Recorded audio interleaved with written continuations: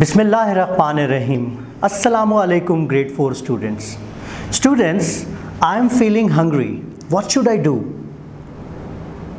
yes I need to take some food and food will give me energy okay students एक बात बताएँ मुझे कि अगर आपके पास एक बाइसिकल है और वो बाइसिकल आप राइड नहीं कर रहे तो क्या वो बाइसिकल मूवमेंट uh, में होगी मूविंग होगी? जी, बिल्कुल नहीं होगी।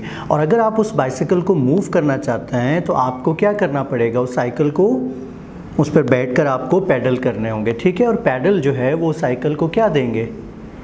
एनर्जी देंगे, जिसकी वजह से साइकिल मूव करना शुरू होगी। तो इसका मतलब है कि कोई भी चीज़ हो, चाहे वो लिविंग थिंग हो या नॉन लिविंग थिंग उसको मूव करने के लिए एनर्जी की ज़रूरत होती है। And you know students why I am telling you all this because today we are going to start a new lesson and the lesson is related with energy.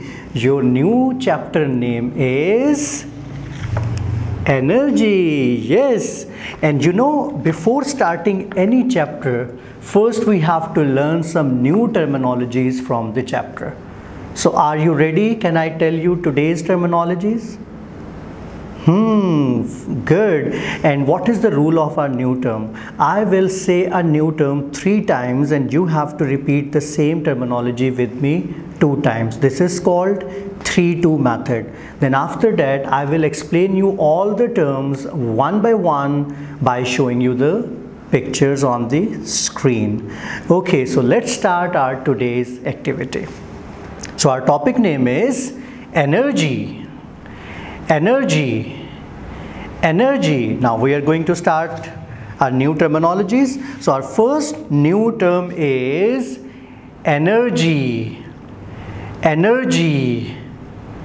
Energy. Our next terminology is force. Force. Force. Now repeat it with me. Force.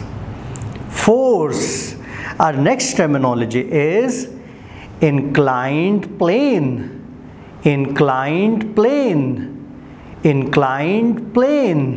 Now repeat it with me. Inclined plane. Inclined plane. Our next terminology is chemical energy. Chemical energy. Chemical energy. Now repeat it with me. Chemical energy chemical energy. Our next terminology is gravitational energy. Gravitational energy. Gravitational energy. Now repeat it with me. Gravitational energy. Gravitational energy. Now students, I will explain you all the terminologies and we will show you the pictures as well. Okay. So our first terminology is energy. So what is energy? The power and ability to be physically and mentally active. Mean आपको physically activity करने के लिए या कोई भी काम जिसमें आपको ध्यान लगाना पड़ता है आपको mentally active होना है तो उसके लिए हमें क्या चाहिए होती है energy. इसी तरह कोई भी non living thing है अगर आप उसको move करवा करवाना चाहेंगे then we also need okay, so our next terminology is force. So what is force? Strength or energy as an attribute of physical action or movement तो कोई भी स्ट्रेंथ या एनर्जी जो किसी भी फ़िज़िकल एक्शन को और मूवमेंट को परफॉर्म करवाती है, उसको क्या बोलेंगे? फोर्स स्ट्रेंथ और energy as an attribute of physical action और movement is called force. Now I am going to explain you our third terminology and our third terminology is inclined plane. So what is inclined plane? A plane inclined at an angle of the horizontal. Okay, let me give you an example of inclined plane. जैसे आपने slides लिए होंगे ठीक है तो वो क्या है वो inclined प्लेन है। इसी तरह से कोई रैंप होता है जिसके ऊपर गाड़ी को ऐसे ऊपर चढ़ाया जाता है। That is also called inclined plane तो मैंने आपको एग्ज़ाम्पल से इंक्लाइंड प्लेन को क्लियर uh, किया। हमारी नेक्स्ट टर्मिनोलॉजी है speed the rate at which someone or something moves it's called speed तो स्पीड क्या होती है?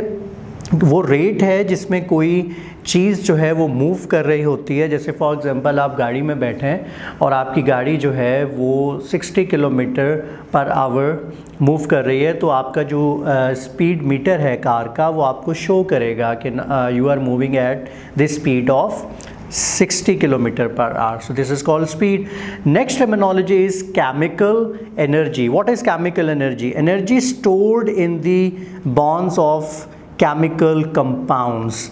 So, chemical energy is like a potential energy, जैसे जो बैटरी है, वो क्या है? उसके अंदर केमिकल एनर्जी मौजूद है, उसमें पोटेंशियल एनर्जी मौजूद है। इसी तरह जो मैच स्टिक है वो भी क्या है? उसके अंदर भी केमिकल एनर्जी मौजूद है। So I am going to explain you again what is chemical energy energy stored in the bonds of chemical compounds is called chemical energy.